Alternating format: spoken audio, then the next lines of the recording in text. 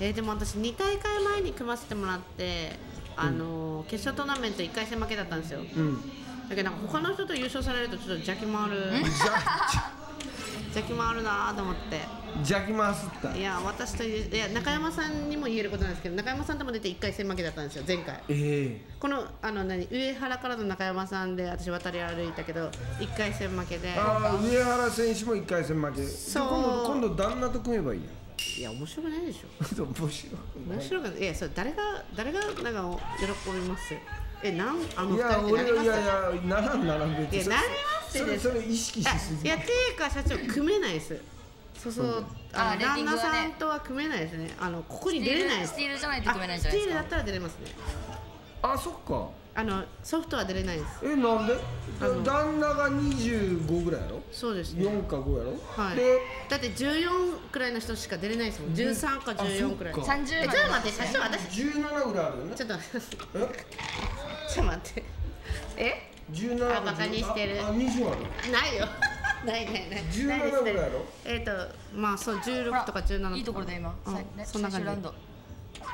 あえ？ああれ？え？オーバーあオーバーかおナイスオーバいやーナイスオーバーまでは行ったけど。ウフォウフォあそうそう。大丈夫？ねごあの大丈夫です。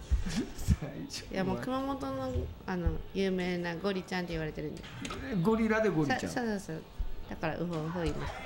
いやでだ。からえなんか風吹きよるけん？この人。見とって。あいやもうものうもうあっくんの勝ちやんもう笑いよそうですね。え？ああそっか。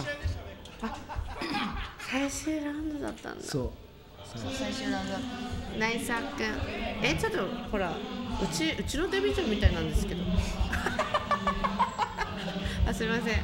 なんか悪口言ってるみたいで。あで何で見あ私今日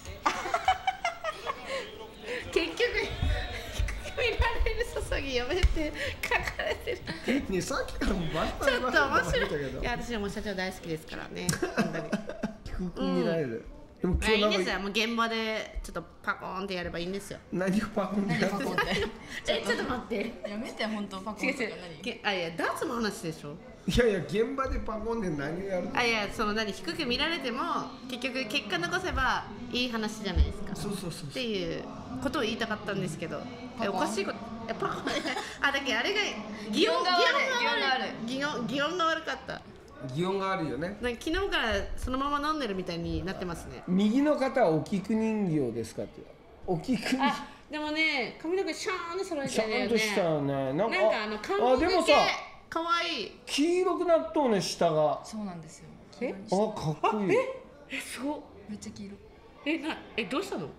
黄色に合わせたの髪の毛かわいいそんなんもちゃんとえしてるのねすごい。えそれってど金髪の後に黄色入れるの？あそうブリーチしてから。はあすごい。やってみたい。あかわいいのね